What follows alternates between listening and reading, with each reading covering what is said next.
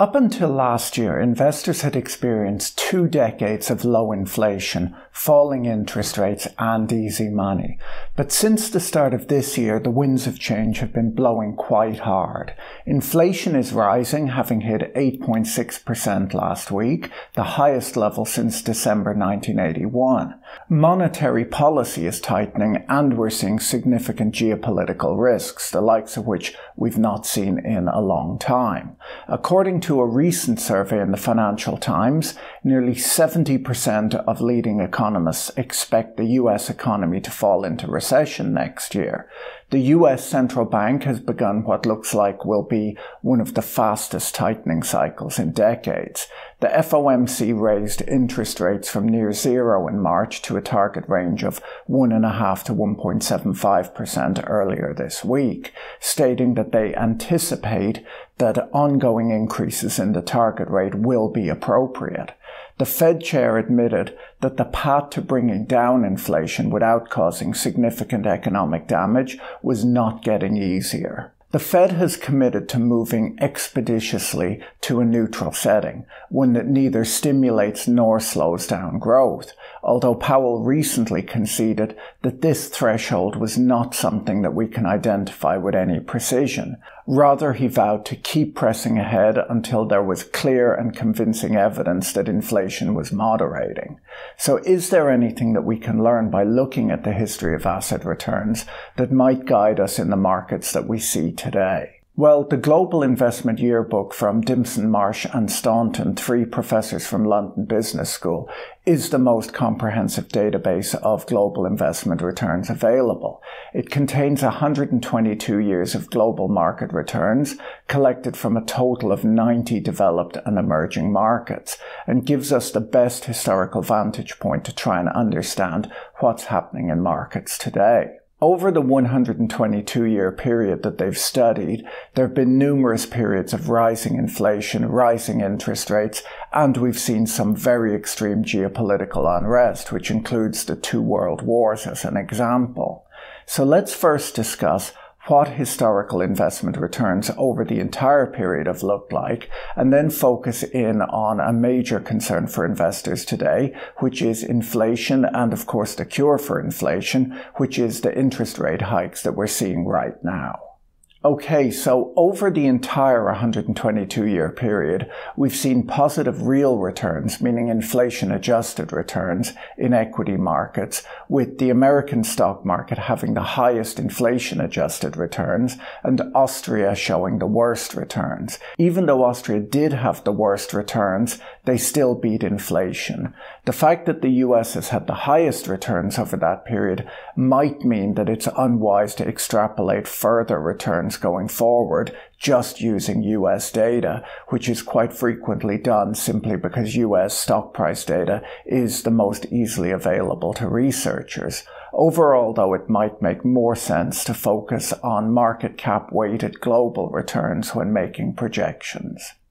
So based on this long series of data, equities or stocks beat inflation everywhere in the world in the long run, which is good to know. Now, when we look at bond returns, these were not positive everywhere in the world when adjusted for inflation. There were five countries where real bond returns, meaning inflation adjusted bond returns, were negative over the 122 year period you can see from the data that equities not only beat inflation, but they also beat bonds everywhere in the world.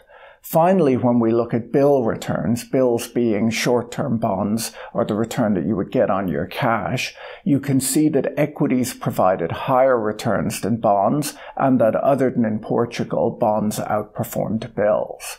So in the long run, overall, the law of risk and return seems to hold where the riskiest securities, stock market investments, outperformed intermediate risk assets like bonds, which generally outperformed the safest assets, bills or cash.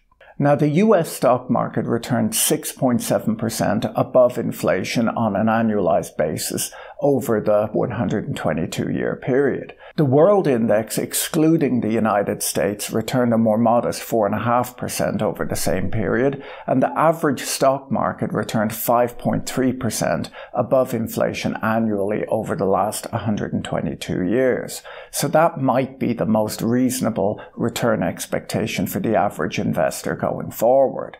The 5.3% inflation adjusted return on global equities beats the 0.7% annualized real return on bills and the 2.1% real return on bonds. Now, the equity risk premium is the amount by which equities beat the risk-free rate. And so over the 122 year period, that comes out as 4.6%. So the additional return that investors have received for taking stock market risk in the long run has come out as 4.6% of excess returns over cash. One other observation we can make when looking at this data is that when we look at the countries with the worst performance over the 122 year period, they appear to have been the countries that were most negatively impacted by the two world wars.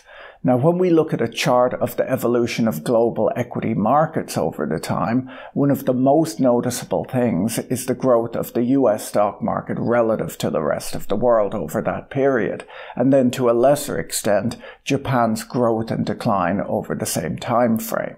We should note that markets have, of course, changed quite a lot over time and that they always will change going forward. Stock markets in 1900 were very different in the way that they worked and the types of companies listed to markets today. In 1900, when the database began, the Amsterdam Exchange was already almost 300 years old, the London Stock Exchange was more than 200 years old, and five other markets, including the New York Stock Exchange, had been around for 100 years or more at that point. Looking at the data, we can see that investors in different countries had quite different returns over time too. Many countries experienced market closures during wartime. In Russia and China, markets were closed when the communists took control with no intention of reopening, and assets were expropriated by the governments in question. The varying outcomes highlight the wisdom of international diversification for investors. So what does this all mean for forward-looking investment returns? Well, we can think of all returns as being made up of the risk-free rate plus a premium for taking risk, and that calculation applies to any asset class you might want to consider investing in. So the first thing we need to look at in that case is where real interest rates are and what they have been doing. This chart from the yearbook shows that real interest rates over the last 22 years have fallen from just below 4% to a global average of minus 1.5% at the end of 2022. This decline in real interest rates has been very good for asset returns over that period, but unfortunately, as real interest rates rise, it does not help asset values, it harms them. If we analyze investment performance starting in periods of low real interest rates compared to high real interest rates with a five year holding period, we can see that bond returns are low when initial real interest rates are low and that bond returns are high when initial real interest rates are high. And that's only so surprising. You can see a very similar picture for equities too. So the returns of both asset classes are very much grounded in what the real interest rate was at the start of the investment period. If you start with a low real interest rate, you can expect low subsequent returns. And if you start with a high real interest rate, you can expect high subsequent returns. Okay, so next up, let's discuss inflation. In the United States, the annualized inflation rate since 1900 was 2.9% per year, compared to 3.6% in the UK over the same period. But this seemingly small difference, thanks to the power of compounding, means that while US consumer prices rose by a factor of 33, UK consumer prices rose 73 fold over that same 122 year period. Prices didn't, however, rise in a steady manner, and all around the world, all countries experienced deflation at some stage in the 1920s and early 1930s. In the United States, consumer prices fell by almost a third in the years after 1920 and didn't regain their 1920 level until 1947, so 27 years later. So what about in more recent times? Well, after experiencing the highest inflation of any country in the first half of the 20th century, Germany had the second lowest inflation rate from 1950 onwards, with Switzerland having the absolute lowest. Several countries, including the UK, went from having comparatively low inflation to becoming relatively high inflation countries in the second half of the 20th century.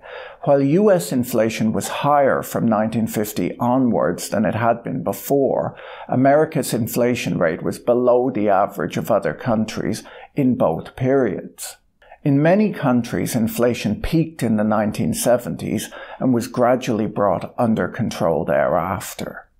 Five countries in the database experienced extremely high annualized rates of inflation 70% in Argentina, 64% in Brazil, 28% in Chile, 19% in Mexico, and 16% in Russia.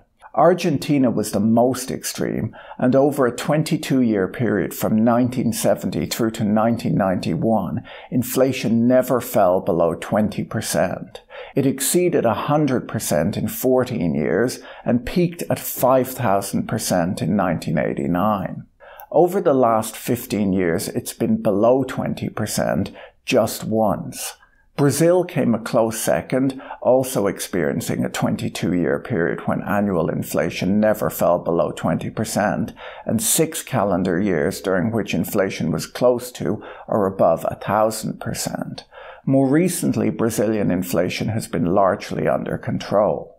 Over the last 25 years, global inflation has been very low by historical standards. On average, in each year from 2008 through to 2020, over half of the countries covered had an inflation rate of 2% or less. In 2020, only one country had an inflation rate above 2%, and the average inflation rate was just 0.42%, which was the lowest level since 1934. Everything then changed in 2021 when inflation rose substantially in most of the developed world. It went from 1.4% to 7% in the United States that year, the highest annual figure for 40 years.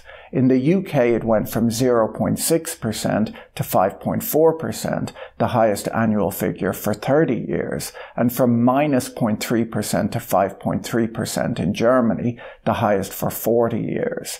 In early 2022, inflation has continued to accelerate, hitting 8.6% in the United States last week. Looking globally, the average inflation rate across the 21 countries went from 0.42% in 2020 to 4.4% in 2021, a tenfold increase in annualized inflation over a one year period. And as we know, inflation has continued upward in the first half of 2022. This resurgence of inflation, particularly in 2021, was triggered by global economic stimulus high consumer demand as economies recovered, severe supply chain disruptions, which we've all heard about at this point, and a poorly anticipated global energy crisis, which had started before the war in Ukraine and has only intensified since. Additionally, we've been seeing food shortages due to weather issues, transportation issues, and the Russian invasion of Ukraine. This recent strong uptick in inflation in most developed economies has raised the obvious question about its likely impact on asset returns. So let's look at how investors have fared when inflation has been low versus when inflation has been high. Looking at the data, you can see that bonds have their worst performance when inflation is high and deliver their best performance in deflationary periods. They work very well as a hedge against deflation, but that is not the problem right now. When we look at equity returns, you can see that equities perform worse when inflation is high and give negative returns when inflation is extremely high. So equities are not an inflation hedge, or at least not helpful in periods of very high inflation. But in the long run, they have been an excellent inflation beater. And this is not because they're an inflation hedge though, it's because of the equity risk premium. Okay, next up, let's look at interest rate hikes and their effects on investment returns.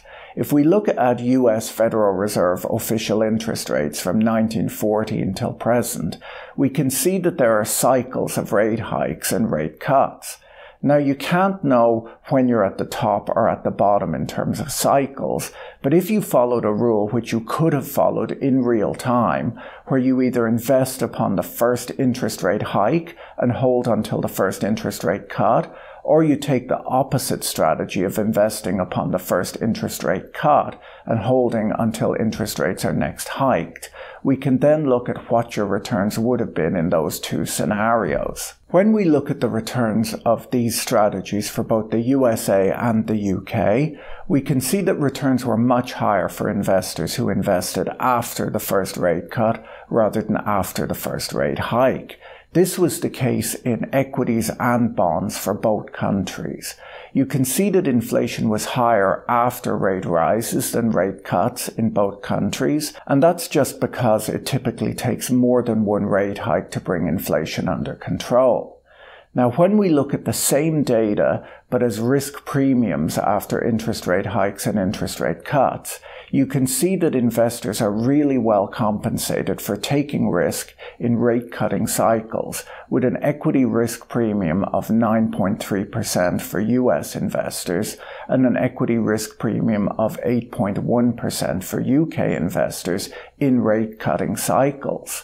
Risk premiums are much more modest in hiking cycles, coming in at 2.7% in the United States but worse yet, we discover that the entire UK equity risk premium was earned during rate cutting cycles.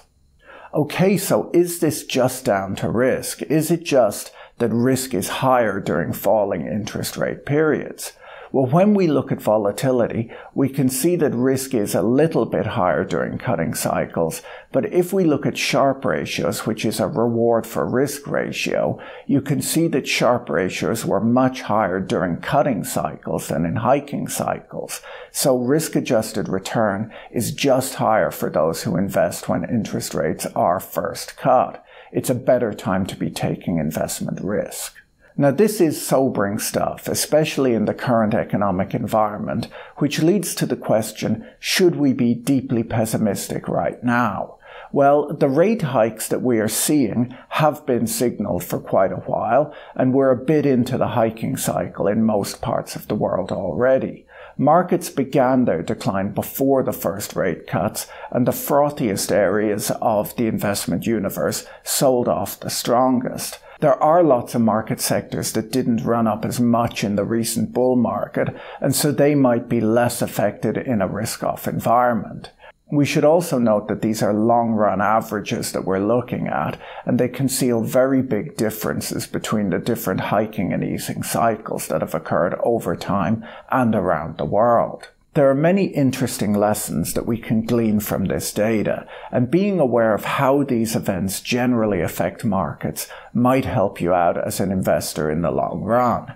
You can see the long run outperformance of stocks over bonds and bonds over bills. You can see what a reasonable inflation adjusted return expectation might be for varying levels of risk. You can see the benefits of compounding returns. One takeaway is that investors might want to consider adjusting their stock bond allocations over time based on hiking and cutting cycles. Historically, once inflation has gotten above 5%, it's never come back down without the Fed funds rate being raised above the CPI. But of course, as I mentioned, each situation is different to the next, and some of the causes of inflation that we're seeing right now may be somewhat unwinding already. We should note that a lot of the inflation that we're seeing right now is driven by things like grain shortages, fuel shortages, and computer chip shortages. These relate to very specific world events and political decisions. Pushing up interest rates can't be expected to increase oil and gas production or produce more computer chips that are needed in modern cars. There's a lot to be learned from paying attention to market history, especially when looking at global returns as are covered in this research report. I've put a link to the full report in the video description below. Have a great week and talk to you again soon. Bye.